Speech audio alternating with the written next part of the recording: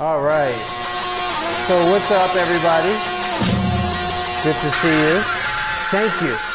I want to thank everybody and the whole 140 community. Why am I thanking you?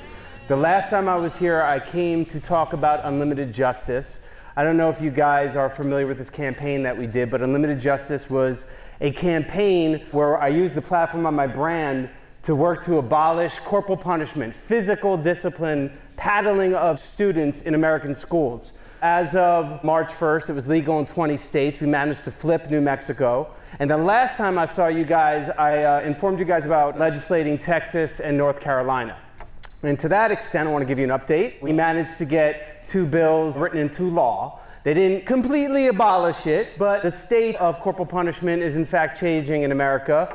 The amber states, Texas and North Carolina, we did have an impact, even though it was just a law that has parents checking a box, but we like the idea of them checking a box as not to whoop kids' asses in schools. Every bit of reform in this business is messy kitchen stuff. So I want to say thank you uh, to that extent because the 140 community at the last 140 conference really did pound uh, uh, Rick Perry's uh, Twitter account. So thank you for that. I want to talk to you about something very core uh, to me and I think is core issue in this issue of education reform when you cut through the apple you know that's where the star is. That's where the, the seeds lie right? That's where the growth is. And core to this effort around paddling was the notion of discipline. Discipline's a funny word especially the preface dis. You've heard the expression dissing right? There's a, a great video i'm going to play for you right now that I, I just think is so elegant uh, in terms of capturing the spirit of dissing. With a very young pup, correcting problem behavior can be especially maddening. And like you, I've probably tried all the tricks. Screaming myself hoarse, starving them, locking them in a closet for days on end, or just beating them without mercy. But after my third arrest and court-ordered anger management counseling, I learned to channel my rage into an effective, nonviolent puppy training tool. It's called dissing your dog. How to train your puppy with mockery and verbal humiliation. Let's just go with the Alpo, okay? I know it's not your first choice, but keep in mind, you're a f***ing dog. Okay, so you see, the, there's something powerful about dissing, right? And there's something uh, important about the definition of discipline, right? Discipline, if you actually look up the definition, means the activity to exercise a regiment develops or improves a skill or training. It has to do with education, right? Disciple, in fact, means pupil. We've kind of reimagined or flipped the meaning. So obviously words matter, and I think more important than words mattering, the parts of those words matter, right? Does anyone know who Malcolm Knowles is? It's not Beyonce's father. Does anyone know? Okay, we see a hand back there. This guy, Malcolm Knowles. Malcolm Knowles really got the idea of words and the importance of words. See, he's the godfather of this concept called andragogy. Okay? If we think about the parts of the words for a moment, andro meaning man, right? Agog means to lead or cognate with. So you follow me here. This means to lead the man. Andragogy was all about self directed learning, adult education. This guy was like the godfather of it. He wrote all these really fascinating books. To that extent, I carry around a PDF that I'm going to make available to you guys where it compares, an educator wrote this thesis comparing pedagogy versus andragogy. Okay, follow me? So I carry this on my iPhone as a PDF. Why the hell should you care? Well, it's my feeling that the education reform conversation has really been a teacher witch hunt. I think the last couple years in the media, teachers and really well intended folks have gotten their asses handed to them over this whole education reform debate. I don't think it's a teacher issue. I think we have a product issue, and I'm a product guy. I always start with the end user and work my way backwards in order to reconcile what the business opportunity is. So if we all agree this is our end user, right? The student. Agreed? Yes, affirmative. So why is it that the product feels like black and white TV?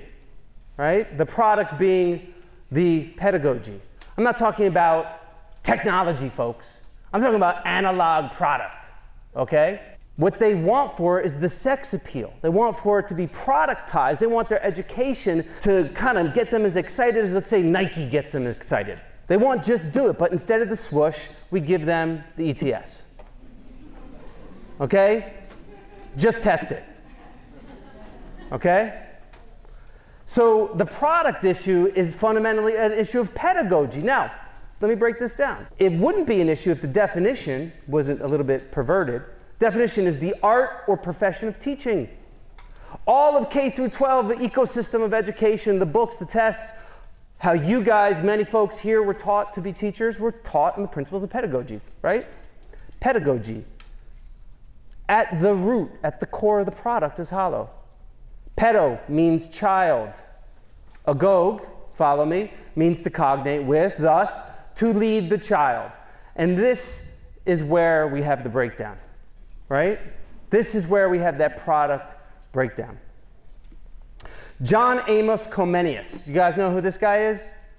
He was the godfather of pedagogy. Apprentices learn to forge by forging, to paint by painting, and to dance by dancing.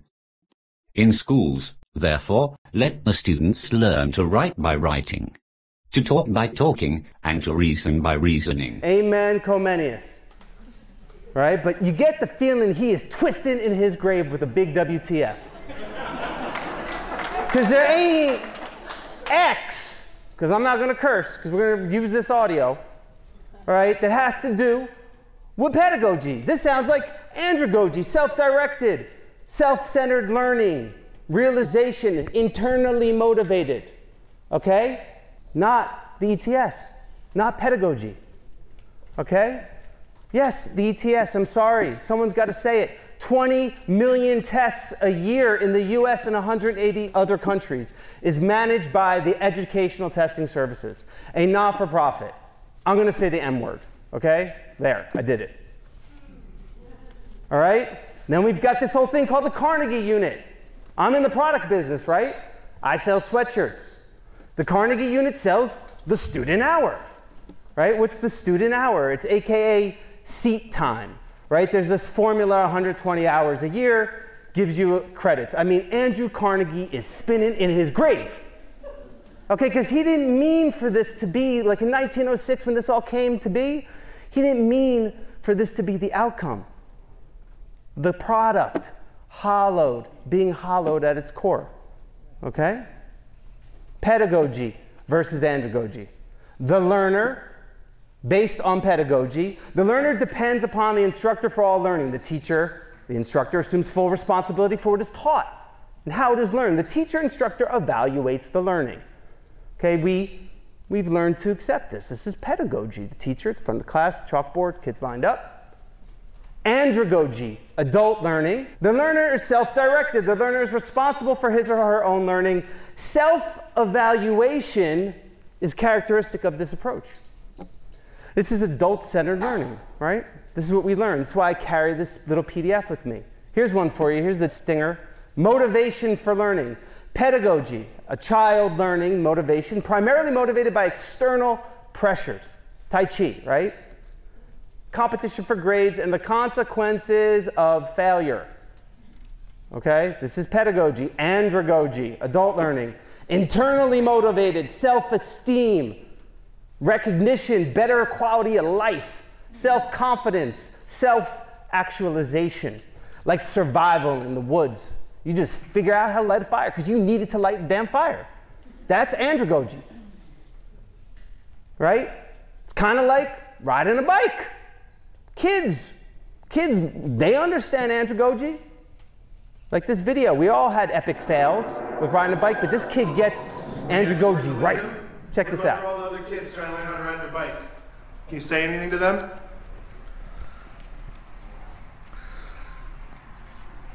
Everybody, I know you can believe in yourself. If you believe in yourself, you will know how to ride a bike. If you don't, you just keep practicing.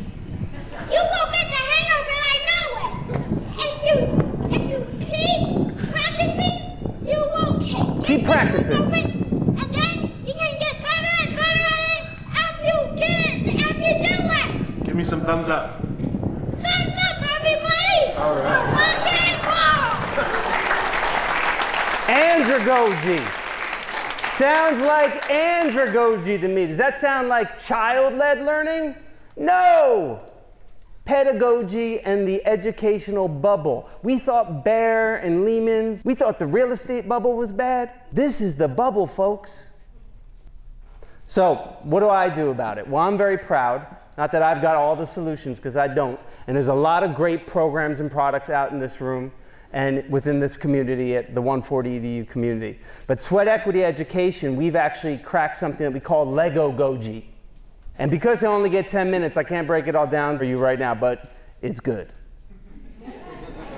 You can follow at Sweat Equity or go to Sweat Equity Education, learn about it. It's a 501c3 that I founded. I'm, on the, I'm the chairman of the board about seven, eight years ago. I'm very, very proud of the work that these folks have done. So, dissing. Start thinking about this diss thing. Start thinking about what gift could I bestow on the 140 community? Hmm.